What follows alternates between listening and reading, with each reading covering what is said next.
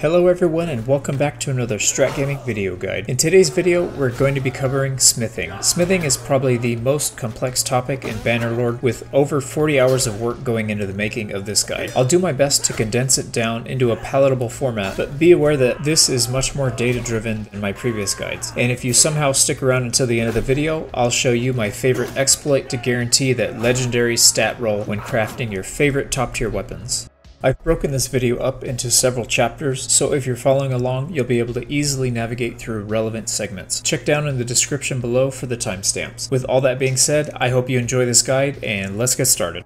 You use crafting stamina for every smithing action that you take. Your crafting stamina amount is determined by your level, starting at 100 stamina at level 1 and increasing by 1 every 2 levels to the maximum of 265 at level 330. You regenerate crafting stamina by resting in a town. The amount you recover is percentage based, so it will scale with you as you level, meaning you will need the same 75% of a day to recover 100% of your stamina regardless of your level. All refining actions will cost you 6 stamina stamina. All smelting actions will cost you 10 stamina. Smithing actions will cost anywhere from 10 up to 45 stamina, depending on the difficulty of the weapon.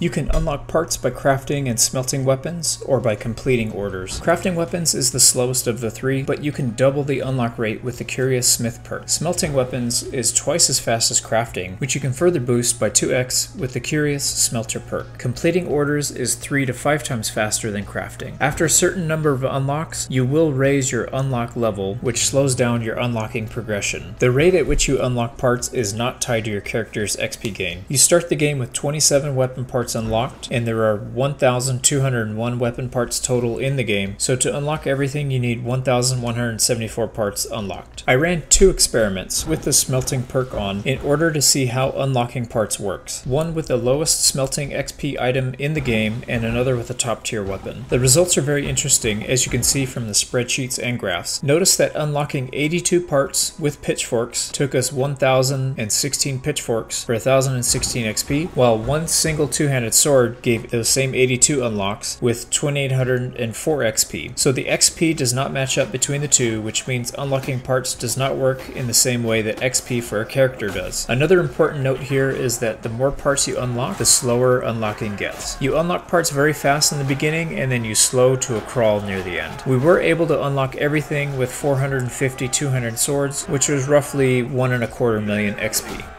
You earn smithing XP in four different ways refining materials, smelting weapons for parts, smithing new weapons, and fulfilling orders. Remember, all XP values in this guide are given with a 1x multiplier base value. To find out what your character or companion would earn, simply take these XP values and multiply them by your character's XP multiplier, which you can find here on the character screen. If we craft a weapon that gives 1000 XP, then with an XP multiplier of 12.5, we would actually have gained 12,500 XP. Refining materials is the easiest and most predictable way to earn XP through smithing. It's also the slowest, but can still be great in the early game. Let's take a look at the full list. One thing that really jumps out to me is how much XP making 3 charcoal actually gives, especially for a low level character, and you can do it from day one. Refining is a guaranteed way to get the crafting materials you need, but it's very slow and requires a significant amount of hardwood. For example, to get from crude iron to a single Thamaskene steel will cost you 31 charcoal. An easier way is to buy Pugio daggers from any Empire town, or tribesmen throwing daggers from all towns in the game except Vlandian and Khuzait towns.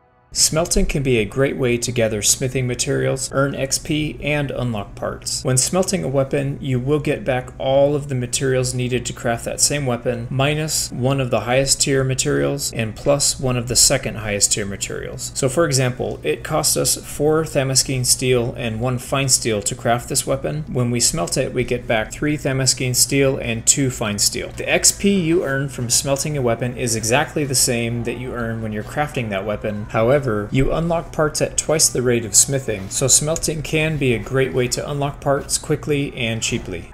And now for the most important part of the video, the crafting section. There are a few reasons to craft a weapon. For personal or companion use, to sell the weapon for profit, or for XP and part unlocks. In general, the best weapons for use are largely dependent upon personal preference, so we will save that for another video. Crafting weapons for sale is simple. The more XP a weapon generates, the more it will sell for on the market. Given this information, we can conclude that unless you're making a weapon to use, you should only be creating the highest XP value weapons available given your unlocked parts. Let's look at how we can achieve this. To make our life easier, let's filter out the weapons that should be avoided at all cost. Literally everything except polearm and two-handed sword. Here is a list of the highest XP weapon from each category so you can see why we're focusing on these two. From worst to best, starting with the throwing knives. Now one thing that really stood out to me was how crafting materials has no effect on XP. For example, some one-handed swords cost the exact same as a comparable two-handed sword, but the XP for the two-handed sword was three to four times more. We will call this TaleWorlds' mathematics. Let's now look at an example from each of our top two crafting weapons, starting with the polearm. For the blade, we choose the tier 5 long glaive head and max size. For the attachments, we start with the tier 5 double hooks at full size. The shaft, we use the tier 5 decorated long pine shaft, keep it at default size, and finally the pommel, we use the tier 5 spiked round spear pommel at default size. For the two-handed sword, we start with the tier 5 Thamaskene steel Cascara blade at max size, the tier 5 ridged western guard at minimum size, the tier 4 red leather one-handed grip at minimum size, and finally the tier 5 eagle head pommel at minimum size. You might be thinking, Well, what do I do if I only have a few parts unlocked and I can't even make those? Well, that's a great question, which leads us to the most important part of this segment. A simple method to crafting no matter how many parts you have unlocked. Step 1. Pick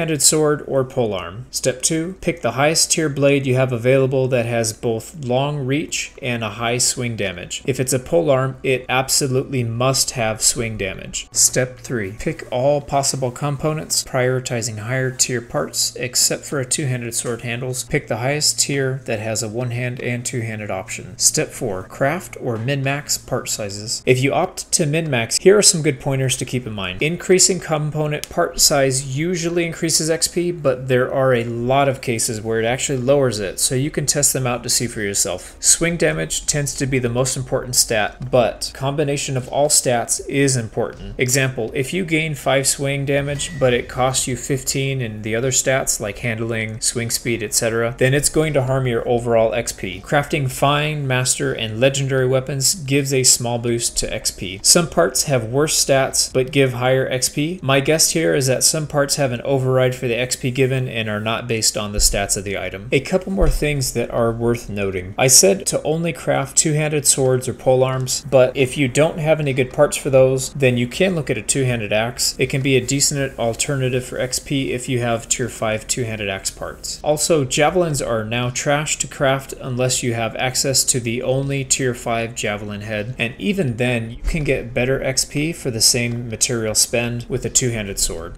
If you're looking to be the most efficient with your time and resources, then completing crafting orders is the way to go. Not only can you make a ton of money doing them, but you can potentially get between 4 and 23 times the XP of a single weapon craft. The best part is, you don't even have to be successful with the order to gain these benefits. I love the new crafting order system, and by the end of this segment, I'm confident you will too. Let's take a look at some of the basics. Every town starts with 6 crafting orders available from different nobles and notables ranging in difficulty levels, weapon types, and reward values. You can only attempt a crafting order if you are within 49 levels of the difficulty requirement or higher. In order to succeed with the order, you need to meet or exceed the requirements given. If you fail, you still get full XP and some of the reward money, from 50 to about 10% depending on how far off you are. Completed orders will be replaced with new ones in time. They can come back in batches of one or two orders at a time and can take anywhere from one to three days or sometimes more. Now that we understand the basics, let's look at how we can really take advantage of the order system. There are two ways I personally go about using orders, earning dinars or gaining XP, part unlocks, etc. Earning dinars is very straightforward. Look for orders that have rewards of 30,000 or more and get as close to meeting those requirements as possible. It's not hard to earn at least 50% of the reward money and you can earn millions within a matter of weeks. Some useful information about completing orders for cash. You can ignore weapon weight and weapon reach as they don't cause order failure if you don't meet the requirements. Sometimes you can miss difficulty and still pass, and sometimes you can meet all the requirements and still fail. The level 250 perk Sharpened Edge gives a guaranteed swing damage boost, allowing you to make up a deficit of one or two swing damage and succeeding in the order when you would normally have failed. Three perks that give a chance at bonus stat rolls, which can help you succeed at orders you would normally fail, and they are Fine Smith, Master Smith, and Legendary Smith. For two-handed swords, always try to meet the thrust pierce damage first. Changing size and components does not change your thrust damage, so you do need the blade to satisfy that at first, and then you build everything else out from there. The second way is much more complex, so let's break it down into more digestible pieces. We're looking for orders that are in weapon categories that give a ton of XP, such as polearm, two-handed swords, and even two-handed axe, one-handed sword, and two-handed mace. Higher difficulty is better as that will allow us to craft higher XP weapons before we get that huge multiplier applied. Get your weapon difficulty as close to the order difficulty as possible. Don't worry about the other stats as they only affect the reward money and not the XP gain. You will earn an XP multiplier between 4 and 23 times, with the average coming in at about 11 times. Here are a couple examples that will help demonstrate how powerful this strategy is. We will craft the order and then afterwards show the exact same craft to compare the XP gain difference. The highest XP gain by percentage was from a polearm order. It had an order difficulty of over 200, which is exactly what we like to see. We start off by finding a spearhead that has swing cut damage, then we put on the other parts that will boost up the difficulty and get close to the 203 mark. Notice how far off we are on all the other stats and even below on difficulty. We gain about 20% of the dinar reward, but let's look at the XP gain. We started on level 300 with 0 XP and ended up at level 301 with 32 369 XP. We add in the full XP from level 300, which is 48 180, and we come to a grand total of 80,549 XP gained from this one craft. Now we reload the save, paste the exact same specs of the weapon, and see what XP we would have gotten without the order. We barely gained 33 34 XP, which means we gained a grand total of 2300% in a single crafting order that we failed miserably at. I love this game. The next example we look at is the highest net gain of XP from a crafting order I could get. The crafting order calls for a 234 difficulty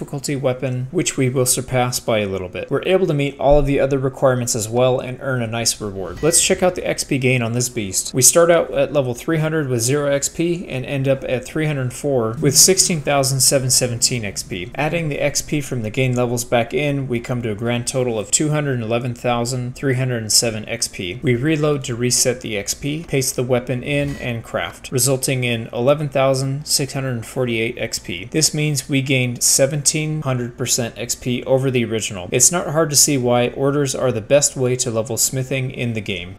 We are nearing the end of the video and as promised, I will be sharing with you my favorite exploit that guarantees you to get the legendary roll exactly when you want it. We start out by going to a town and saving the game. If you're in an Iron Man game, then you probably shouldn't be using this exploit. I'm just kidding. Just save and exit to mark the spot, you sexy Chad. Get to the crafting screen and begin crafting the cheapest thing you can. Be sure to keep count of how many items you crafted and watch each weapon stats. In my run, you can see we hit the jackpot on the fifth craft and got got a legendary stat roll. We reload the game, craft four throwaway weapons, and save again. Now you have a save where anything you craft next will be 100% guaranteed legendary roll. It seems like TaleWorlds doesn't use an RNG for each instance, but more likely they calculate a string of actions at some point in time and then keep those outcomes saved for the whole game moving forward. I want to thank you all for watching another Strat Gaming video guide. If you like this video, please give a like and subscribe down below. The likes really help out the video with the YouTube algorithm and allow more people to find these guides. Let me know in the comment section below what kind of guide you would like to see. Up next, we will be looking at the cunning skills, scouting, tactics, and roguery, so be sure to hit that bell notification so you don't miss it. Thanks again for watching, and as always, I'll see you on the next one.